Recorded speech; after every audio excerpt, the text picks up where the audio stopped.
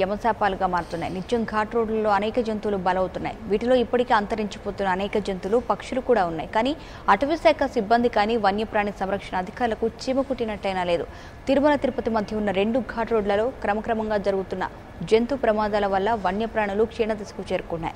శేషాచలం అడవిలో జీవిస్తున్న ప్రతి ప్రాణిని దేవునితో సమానంగా చూస్తారు భక్తులు. కానీ అటవీ శాఖ అధికారులు టీటీడీ మాత్రం జంతువుల సంరక్షణపై నిర్లక్ష్యం ప్రదర్శిస్తున్నారు. ఏడుకొండలో నోరు లేని మూగజీవాల అరణ్య రోధనపై నైన్చొంచివి ప్రత్యేక కథనం.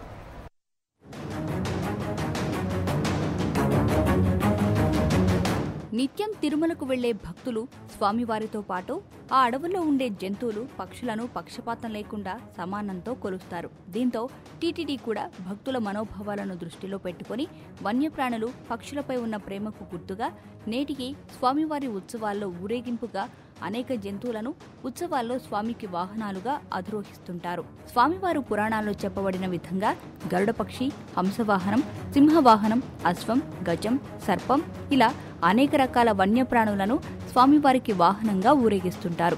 మనుషుల కన్నా జంతువులే ఎక్కువగా ప్రేమ చూపిస్తాయని స్వామివారు చెప్పకనే చెప్తుంటారని అర్చకులు అంటుంటారు. అందుకే స్వామివారి వాహన సేవలలో వన్యప్రాణులకే అధిక ప్రాధాన్యత ఇస్తారు. అన్నమయ్య త్యాగయ్య తరికొండ వెంగమాంబ లాంటి వారు ఎందరో ఉన్నా ఎవరికీ స్వామివారి వాహనంగా ఉండే అవకాశం ఇవ్వలేదు. ఒక్క వన్యప్రాణులకు తప్ప.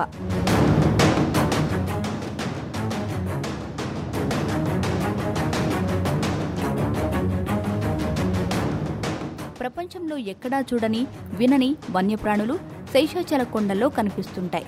శ్రీనివాసుడు వన్యప్రాణులకు ఎంతటి ప్రాధాన్యత ఇచ్చాడో అందుకు పూర్తి విరుద్ధంగా టీటీడీ అధికారులు వ్యవహరిస్తున్నారు. నిత్యం తిరుమల తిరుపతి మధ్య ఉన్న రెండు ఘాట్ రోడ్లలో అనేక జంతువులు పక్షులు మరణిస్తున్నా పట్టించుకోవడం లేదు. పేరు గొప్ప ఊరుదిబ్బ అన్నట్లు తయారైంది శేషాచలం అడవుల పరిస్థితి. అరుదైన జంతువులు పక్షులకు ఆవాసమని అధికారులు ఊదరగొడుతున్నారు. కానీ ఆ స్థాయిలో వాటికి సంరక్షణ కల్పించడం లేదు. ఫలితంగా నిత్యం తిరుమలకు వెళ్ళే రెండు ఘాట్ రోడ్లలో జంతువులు మృత్యువాత పడుతున్నాయి. క్రమక్రమంగా అరుదైన జంతువులు క్షీణదిశకు చేరుతున్నాయి. ఈ సత్యాన్ని అధికారులు గుర్తించడం లేదు. రెండు వేల పదమూడు నుండి జంతువుల మరణాలు అధికంగా ఉన్నాయి. ఇప్పటి వరకు అధికారిక లెక్కల ప్రకారం రెండు వేల పదమూడు నుండి ఐదు చిరుతలు నాలుగు జింకలు రెండు కనితలు పన్నెండు పందులు నాలుగు ఎలుగుబంట్లు ఇంకా చెప్పుకుంటూ పోతే ఎంతో జంతు సంపద కాలగర్భంలో కలిసిపోయింది.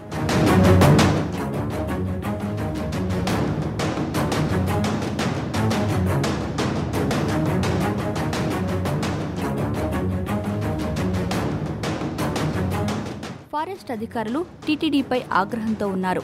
వారికి కేటాయించిన భూభాగం కంటే ఎక్కువగా వాడుకుంటుండడమే కాకుండా ఇలాంటి జంతుజాతుల నిర్వీర్యానికి పాల్పడుతున్నారని ఫారెస్ట్ అధికారులు ఆరోపిస్తున్నారు. తిరుమలకు వెళ్ళే ఘాట్ రోడ్డులు అటవీ చట్టాల ప్రకారం తొంభై ఏడు సంవత్సరాలకు గాను టీటీడీకి లీజుకిచ్చినట్టు ఉంది. తిరుమలకు వచ్చే కాలినడక భక్తుల సౌకర్యార్థం కాలిబాట కోసం టీటీడీ అటవీ శాఖ వద్ద దరఖాస్తు చేసుకుంది. కానీ నిబంధనలకు విరుద్ధంగా సిమెంట్ రోడ్డు తార్ రోడ్డు సువిశాలమైన హైవే రోడ్డు స్థాయిలో తిరుమలకు మార్గాలను ఏర్పాటు చేసింది టీటీడీ.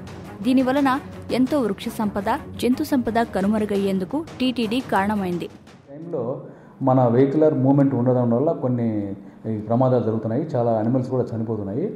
దీనిపైన మేము మా విన్నపం ఏంటంటే టీటీడీ అడ్మినిస్ట్రేషన్కి కానీ ప్రతి ఒక్కరికి కూడా ఈ వన్యప్రాణి ఎవరైతే అఫెక్షనేట్గా ఎవరైతే లవ్ వన్యప్రాణిని ప్రేమిస్తారో వాళ్ళందరికీ నా ఉద్దేశం మా విన్నపం ఏంటంటే ఈ ఘాట్ రోడ్ను అంటే ఇప్పుడుండే త్రీ అవర్స్ అంటే పన్నెండు గంటల నుంచి మూడు గంటలకు కాకుండా అట్లీస్ట్ పదిన్నర పదకొండు మధ్య నుంచి సాయంత్రం నైట్ తెల్లవారుజామున ఐదు గంటల వరకు క్లోజ్ చేసినట్టయితే ఈ అనిమల్ మూమెంట్ ఉండేటటువంటి ఈ టైంలో కొంత అనిమల్స్ మనం సేవ్ చేయగల సేవ్ చేయగలిగిన వాళ్ళమవుతాము దట్టమైన అభయారణ్య మధ్య ఉన్న ఈ రెండు ఘాట్ రోడ్లలో నిరంతరం వాహనాల రాకపోకలు జరుగుతూనే ఉంటాయి. ప్రతిరోజు పదివేలకు పైగా వాహనాలు తిరుగుతూనే ఉంటాయి. రోజు రాత్రి పన్నెండు గంటల నుండి ఉదయం మూడు గంటల వరకు వాహనాల రాకపోకలను నిలిపివేస్తుంటారు. కానీ ఈ సమయంలో కూడా టీటీడీతో పాటు భద్రతా వాహనాలు నిరంతరం ఘాట్ రోడ్లో తిరుగుతూనే ఉంటాయి. మలుపులతో కూడిన ఈ రెండు ఘాట్ రోడ్లలో జంతువులు ఆహార అన్వేషణ కోసం అటూ ఇటూ తిరుగుతుంటాయి. ఇలా దాటుతున్న జంతువులను వాహనాలు ఢీకొట్టడంతో మృత్యువాత పడుతున్నాయి. ఇందులో చిరుతలు జింకలు పునుగు పిల్లలు దుప్పులు పందులు ముళ్ళ పందులు గండ్రంగులు ఎక్కువగా బలవుతున్నాయి. జంతువుల సంచారం ఉదయం ఐదు గంటల వరకు ఉంటుంది. కాబట్టి రాత్రి పదకొండు గంటల నుంచి ఉదయం ఐదు గంటల వరకు రెండు ఘాట్ రోడ్లను మూసివేయాలని భక్తులు టీటీడీని కోరుతున్నారు. ఐదున్నర హెక్టార్లలో ఉన్న శేషాచల అటవీ ప్రాంతమంతా శ్రీ వెంకటేశ్వర అభయారణ్యంలోకి వస్తుంది. ఇక్కడ అనేక అరుదైన జంతువులు ఉన్నాయి. అడవుల అభివృద్ధికి అనేక చట్టాలు ఉన్నా అవి టీటీడీ పరిధిలోని అటవీ ప్రాంతానికి వర్తించడం లేదు. భక్తుల పేరుతో టీటీడీ చేస్తున్న అభివృద్ధి పనులే అడవి జంతువుల మనుగడను ప్రశ్నార్థకం చేస్తున్నాయి. అభివృద్ధి పేరుతో దట్టమైన అడవులను నాశనం చేస్తున్న టీటీడీని నిలువరించే ప్రయత్నం జరగడం లేదు. మూగజీవులు దారుణంగా చనిపోతున్నాయి. అసలు అధికారులు నిద్రపోతున్నారా? అసలు ఏం చేస్తున్నారు?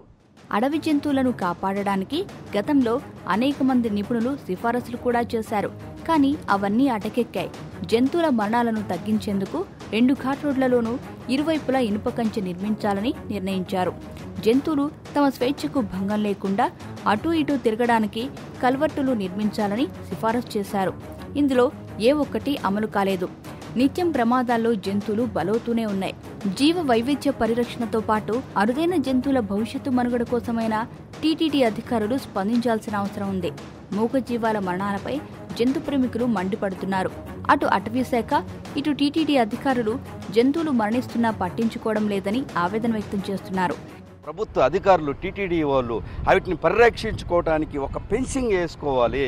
అర్ధరాత్రులు మిడ్ నైట్ పన్నెండు ఒంటి గంటకు పంపిస్తాను వాటికి స్వేచ్ఛ స్వేచ్ఛ లేకుండా విపరీతంగా రోడ్డు మీదకి వచ్చి అవి నీళ్ళు తాగేదానికి వస్తూ ఉంటే ఈ బస్సులు కార్లు గుద్దేసి ప్రాణులు ఎన్నో ప్రాణులు చచ్చిపోతాయి. గతంలో ఎన్నో ప్రాణులు చచ్చిపోయినాయి. పులిలు అయితేనేమి చిన్న చిన్న జింకలు అయితేనేమి లేళ్ళు అయితేనేమి ఇప్పటికైనా ప్రభుత్వం స్పందించి టీటీడీ ఆగడాలకు అడ్డుకట్ట వేసి జంతువుల మనుగడకు సహకరించాలని కోరుకుందాం.